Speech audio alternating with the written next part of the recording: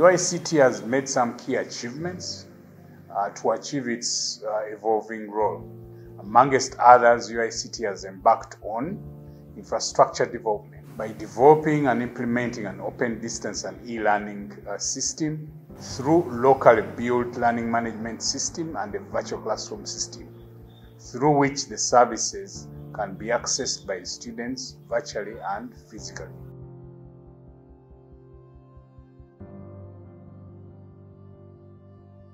Implementation of a campus-wide internet connectivity through hotspots to enable students access online content. Commenced on provision of internet to students and lecturers when off the campus to enable them access uh, the open distance and e-learning. Build state-of-the-art ICT laboratories including ICT telecom, optic fiber, electronics, electrical, multimedia and certification lab.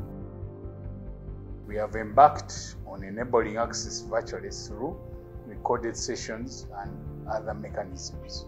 Refurbishment of classrooms, administration block, a hostel, library and other facilities. In order to achieve all the above aspirations, UICT has engaged in partnerships.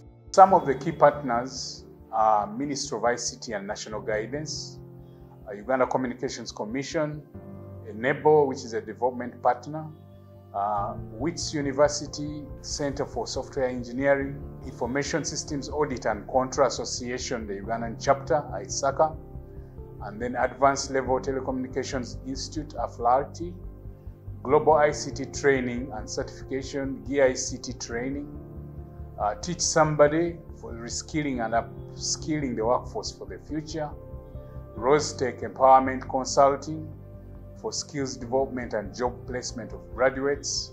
UICT has partnered with Ministry of ICT and National Guidance to manage and administer the National ICT Innovation Hub, and which includes, amongst others, the following areas of collaboration.